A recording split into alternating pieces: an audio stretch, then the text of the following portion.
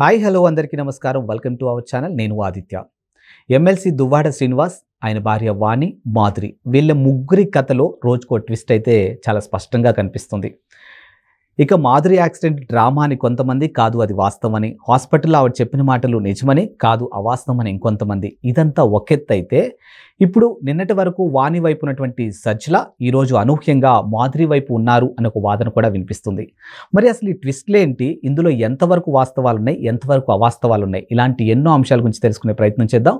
So ప్రస్తుతానికి మనతో పాటు స్టూడియోలో ఉన్నారు ప్రముఖ సీనియర్ జర్నలిస్టు దుర్గా వడ్లమణి గారు. సో మేడం అడిగి మరిన్ని విషయాలు తెలుసుకుందాం. మ్యామ్ నమస్కారం మ్యామ్. నమస్తే అండి. మ్యామ్ ఏపీ రాజకీయాలు రోజు రోజుకి రసవత్తరంగా మారుతుంది. ఒక అంశం అయితే ఎమ్మెల్సీ ఉప ఎన్నికకి సంబంధించి అదే ఎమ్మెల్సీ దువ్వాడ శ్రీనివాస్కి సంబంధించిన ఎపిసోడ్ కూడా చాలా హాట్ టాపిక్గా నడుస్తుంది.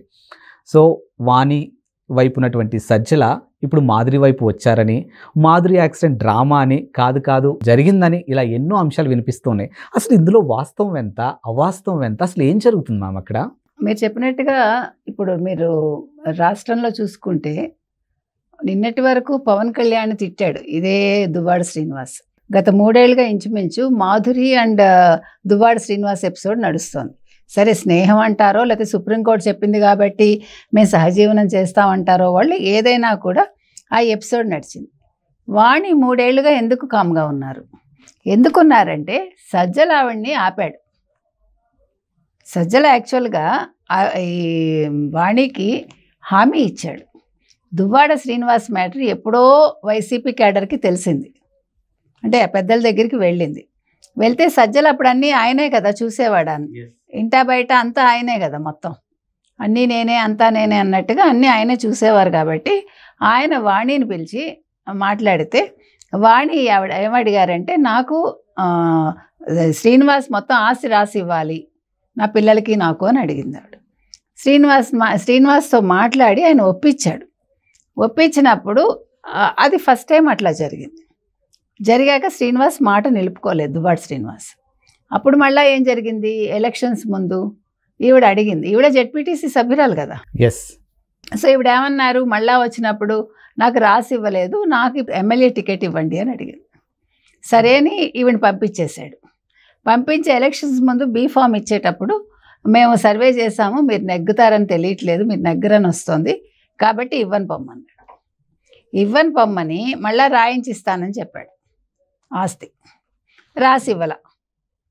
అక్కడ మోసం చేశాడు. సరే వీళ్ళు నెగ్గుతారని వాళ్ళు అనుకున్నారు కదా నెగ్గలేదు. ఇప్పుడు ఓడిపోయారు. ఓడిపోయాక సజ్జలు మాయమైపోయాడు అయితే దువ్వాడ శ్రీనివాస్ అనేవాడు యాక్చువల్గా ఒక అనామకుడు అనుకోండి ఆర్థికంగా లేదు తర్వాత రాజకీయంగా ఏమీ లేదు. సరే ఈవిడ వాణి అన్న ఆవిడ ఇష్టపడి చేసుకుంది ఇద్దరు ఇష్టపడి చేసుకున్నారు. ఈవిడ బాగా రాజకీయంగా వీళ్ళ ఫ్యామిలీ పలుకుబడి ఉన్న ఫ్యామిలీ ఆస్తి కూడా ఉంది వాళ్ళకి. సో ఇప్పుడు మూడేళ్ళుగా ఇంకో స్త్రీతో ఉన్నప్పుడు ఏ భార్యనో ఊరుకోదు కదండి. సరే మరి వాళ్ళిద్దరి మధ్య గొడవలు ఉంటే నాలుగు గోడల మధ్య తేల్చుకోవాలి. వాణి అన్న ఆవిడ చూసి చూసి చూసి మొన్న వెళ్ళి మరి దెబ్బలాట పెట్టుకుంది. ఎందుకంటే భర్త ఎంతకీ రావట్లేదు రానివ్వట్లేదు ఇంట్లోకి పిల్లల్ని తన్ని కూడా. అందుకని రాత్రి వెళ్ళారు. మనకు ఆ డ్రామా తెలుసు అక్కడ ఏం జరిగిందో. ఆయన ఒక మార్బుల్ స్టోన్ తీసి కొట్టబోయాడు. కూతుళ్ళని బూతులు తిట్టాడు మైకుల ముందు అంటే కెమెరాల ముందు. మరి అట్లా చేయడం తప్పు కదా. నువ్వు పవన్ కళ్యాణ్ హితో పలికావు కదా ఆ రోజు. మన హిందూ సంప్రదాయం ఏంటి? మనకి రాముడు ఆదర్శం ఏకపత్ని వ్రతుడిగా ఉండాలి. మన సంప్రదాయం ఏంటి? మనం ఏంటి? ఇన్ని కబుర్లు చెప్పాడు ఆ రోజు. నిన్న ఏమంటున్నాడు? ఇప్పుడు నాకు అర్థమవుతోంది. పవన్ కళ్యాణ్ ఎటువంటి పరిస్థితుల్లో ఉండి ఉంటారో? ఆయన పాప ఏం ప్రాబ్లమ్స్ వచ్చాయో ఆయనకి అందుకే అన్ని పెళ్ళిళ్ళు చేసుకున్నాడు. ఇప్పుడు నా దాకా వచ్చేసి నాకు తెలుస్తోంది అన్నట్టు చెప్తున్నాడు. అందితే జుట్టు అందుకు అంతే. అంటే మనిషి సమయానుకూలంగానే కాదు. వాస్తవాలు ఎప్పుడొస్తాయండి? తన దాకా వస్తే తెలుస్తాయి. సో ఇది ఇలా ఉంటే నిన్న వాణి ఏం చేసింది? ఆవిడ ఇంతకుముందు కూడా ఆవిడ మీడియా ముందు చెప్పింది నేను ఆత్మహత్య చేసుకుంటాను. తర్వాత లేదు వాణి వాళ్ళ ఇంటి ముందుకు వెళ్ళి నా పిల్లల్ని తీసుకుని ఆవిడ ముగ్గురు ఆడపిల్లలు. మా పిల్లలతో సహా నేను ఆత్మహత్య చేసుకుంటాను ఇన్ని చెప్పింది ఆవిడ. ఇంకొకటి నా పిల్లల్ని ట్రోల్ చేస్తున్నారు అని మాట్లాడింది. మళ్ళా నిన్ననే ఏమంటుంది? నన్ను నా అక్కగారు రానివ్వట్లేదు మా ఇంట్లో వాళ్ళు నన్ను రానివ్వట్లేదు నా భర్త నమ్మట్లేదు అంటుంది. ఇప్పుడు మనం ఇక్కడ ఆలోచించాల్సిన విషయం ఏంటంటే మూడేళ్ళుగా నువ్వు స్నేహంగా ఉన్నాను అంటున్నావు సరే స్నేహమే అనుకుందాం మనకేం పోయింది? స్నేహంగా ఉన్నప్పుడు స్నేహితుడు భార్యను వదిలేసి పిల్లల్ని వదిలేసి ఉన్నప్పుడు నువ్వు ఒక స్నేహితురాలుగా అతనికి ఏం అడ్వైజ్ ఇవ్వాలి? నీ భార్య పిల్లల్ని తెచ్చుకో మన స్నేహం కొనసాగుతుంది నేను ఆవిడతో మాట్లాడతాను నీకే దురుద్దేశం లేకపోతే. అనొచ్చు కదా తప్పే ఉంది. You can continue your friendship nothing wrong in it ఇప్పుడు ఆడ మగకి స్నేహం ఉండకూడదని ఎక్కడా లేదండి. మంచి స్నేహితులు ఎప్పుడూ ఉంటారు ఉన్నారు కూడా. ఆడమ్మగా కలిసి మంచి స్నేహంగా ఉన్న వాళ్ళు ఉన్నారు. ఎవరి సంసారాలు వాళ్ళకు ఉన్నాయి భార్యాభర్తలు అండర్స్టాండింగ్లో వెళ్ళిన వాళ్ళు బోల్డ్ మంది ఉన్నారు. కానీ ఇప్పుడు వాణి ఎందుకు బయటకు వచ్చి ఇంత గొడవ చేశారంటే ఆస్తి మొత్తం మాధురి పేరున రాసిస్తారు అని. ఈ మాధురి అన్న ఆవిడ అసలు ముందే తెలివిగా ఆయనకి శ్రీనివాస్కి చెప్పి భార్యని పిల్లల్ని ఆ ఇంట్లో పెట్టుంటే ఇంత గొడవ రాదుగా? మూడేళ్ళ నుంచి ఆయన ఎందుకు విడిగా ఉంటున్నాడు? మూడేళ్ళు రెండేళ్ళు ఎంతో కొంత. ఇప్పుడు మరి ఈవిడ వెళ్ళి గొడవ పెట్టిందంటే ఈవిడకి ఏదో తెలిస్తేనే కదా వెళ్ళి గొడవ పెడుతుంది. ఇప్పుడు అంత ఇష్యూ చేయకపోతే ఆవిడని అసలు పట్టించుకోవట్లేదు కదా. ఇప్పుడు ఇంట్లోకే రానివ్వలేదు మనం చూసాం. ఈవిడ నిన్న ఏం చేసింది? నాకు చచ్చిపోవాలనిపిస్తుందని ఒక స్కోడా కార్లో టెక్కలి దగ్గర ఎక్కడో ఒక ఇదేంటి టోల్ గేట్ దాటాక ఒక కారుని కొట్టింది. నువ్వు చచ్చిపోవాలనుకుంటే ఇంకో కారుని కొట్టడం ఏంటి? ఏ చెట్టుకో కొట్టుకోవాలి కదా. నిజంగా చచ్చిపోదలుచుకుంటే ఆ కారు వాళ్ళు నీకేం అన్యాయం చేశారు? ఆ కారులో ఉన్న వాళ్ళు చచ్చిపోతే నువ్వు బాధ్యురాలేవు కదా. ఇప్పుడు మనం చేస్తే చావచ్చండి. మనకి పక్కవాడిని చంపే హక్కు ఎవడిచ్చాడు? లేదు కదా. అసలు చావాలనుకోవడం ఫస్ట్ ఒక క్రైమ్. చంపాలనుకోవడం ఇంకో క్రైమ్. రెండు క్రైములు చేసింది ఆవిడ. సో ఈ క్రైమ్లో ఏమైంది? ఆవిడ అదృష్టం దురదృష్టం ఆ కారులో ఉన్న ఆయన ఒక అడ్వకేట్. సుధాకరన్ ఆయన. ఆయన ఒరిస్సాకి చెందిన ఆయన. సో వాళ్ళ వాళ్ళ కారులో ఎవరికో దెబ్బలు తగిలాయి. ఆయన ఎఫ్ఐఆర్ నమోదు చేశాడు ఈవిడ మీద. చేసి ఆయన లా పాయింట్స్ కరెక్ట్గా మాట్లాడుతున్నారు. ఆవిడ ఫస్ట్ తాగేసిందా డ్రగ్స్ తీసుకుందా మీరు వెరిఫై చేశారా? Number one. పోలీసులు ఏం చేశారు? ఎఫ్ఐఆర్ నమోదు చేశారా లేదా? చచ్చిపోవాలనుకుంది కేసు పెట్టారా లేదా? మమ్మల్ని చంపాలనుకుంది మా కారుని కొట్టింది దాని మీద కేసు పెట్టారా లేదా? ఇన్ని లా పాయింట్స్ తీశాడు ఆయన. ఇంకొకటి ఏంటంటే నేను ఒరిస్సాలో ఉంటాను కాబట్టి నేను రెగ్యులర్ రాలేకపోవచ్చు కానీ ప్రాసిక్యూషన్కి నేను అన్ని రకాలుగా సహకరిస్తాను అని చెప్పారు సో ఇప్పుడు వాణి నిన్నను ప్రెస్ ముందు మాట్లాడుతుంది. చాలా ఇదిగా నేను చచ్చిపోవాలనుకున్నాను. నాకు ఏంటి నన్ను ఎవరు రానివ్వట్లేదు మా వాళ్ళు నా పిల్లలు నన్ను ప్రశ్నిస్తున్నారు. అంటే నువ్వు ఇంతకాలం ఏం చేసావు మరి? మూడేళ్ళుగా నువ్వు ఇదే పని చేసావు కదా?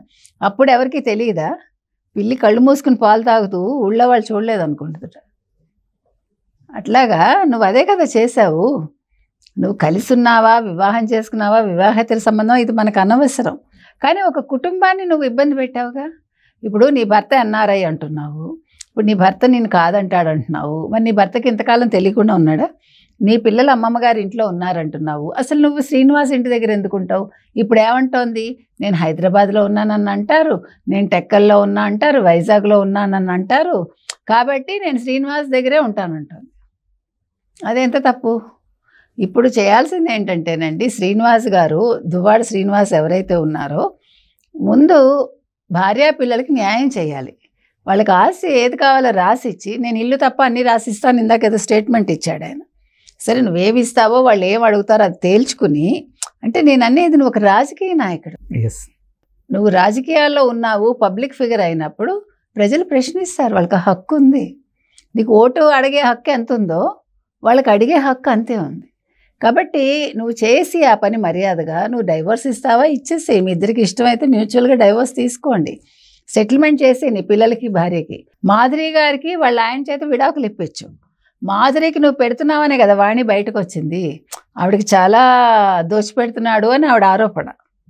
ఇంతకాలం నేను గమ్మునున్నాను కానీ ఇప్పుడు మొత్తం ఆస్తి అంతా దోచిపెడుతున్నాడు. ఆస్తి రాసి ఇచ్చేస్తాడని భయం కొద్దీ ఆవిడ బయటకు వచ్చింది కాబట్టి మాధురిని భర్తకి ఒకవేళ మీ ఇద్దరికి ఇష్టమైతే నువ్వు డైవోర్స్ ఇచ్చాక వాణి గారికి మాధురికి వాళ్ళ ఆయన చేత డైవోర్స్ ఇప్పించి okay if you want to live together live otherwise if you want to marry you marry her nothing wrong in it కానీ ఏదైనా ఒక పద్ధతిగా చేసుకోండి. అంటే దాన్ని ఏమనాలి మనం? న్యాయబద్ధంగా చేసుకోండి. అప్పుడు ఎవరు మిమ్మల్ని ప్రశ్నించారు. రేపొద్దున మీ రాజకీయ జీవితం కొనసాగే అవకాశం ఉంటుంది. లేదు ఇప్పుడు మీరు అనర్హులు అవుతారు ఇటు రాజకీయాలకి పనికిరారు. అటు కుటుంబ పరంగా మీరు పనికిరారు. ఇప్పుడు నలుగురిలోనూ ఎలాగ మీకు తలవంపులు అవుతుంది సో నియోజకవర్గం ప్రజలు కూడా మీ మొహం చూడరు కదా. సి ఇంతకాలం మీరు ఒకటి బిల్డ్ చేసుకుంటూ వచ్చారు. కెరీర్ పరంగా మంచో చెడో ఓకే శ్రీనివాస్ అనే పేరు వినిపించి ఉండొచ్చు ఇంకా మీదట అది నష్టపోతారు కదా. సో ఎవరైనా సరేనండి. ఇప్పుడు సుప్రీంకోర్టు చెప్పింది కాబట్టి మేము చేస్తామంటే మీకు ఏం రైట్ ఉంది? భార్య పిల్లల్ని మీరు ఇబ్బంది పెట్టే రైట్ ఏ ఆడవ ఏ ఆడవాళ్ళకైనా ఏ మగవాళ్ళకైనా? కుటుంబాలను పాడు చేసే హక్కు ఎవరికి లేదు కదా. ఓకే మీరు ఇష్టపడ్డారు. మీరు భార్య పిల్లల్ని విడిపించుకుని డైవోర్స్ తీసుకుని చట్టబద్ధంగా తర్వాత మీరు ఏ వేషాలైనా వేయండి ఎవడు ప్రశ్నించడు. ఇప్పుడు ఈ మాధురి అన్న ఆవిడ చేసేదంతా కూడా తప్పుగానే ఉంది మనం చూస్తే.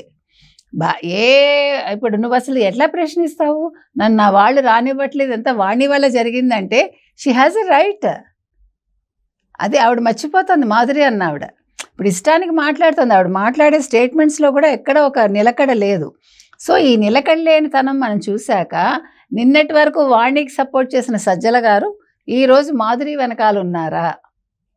మాధురి చేత ఈ డ్రామాలన్నీ నడిపిస్తున్నారా? అనేది ఒక క్వశ్చన్ మార్క్గా ఉంది.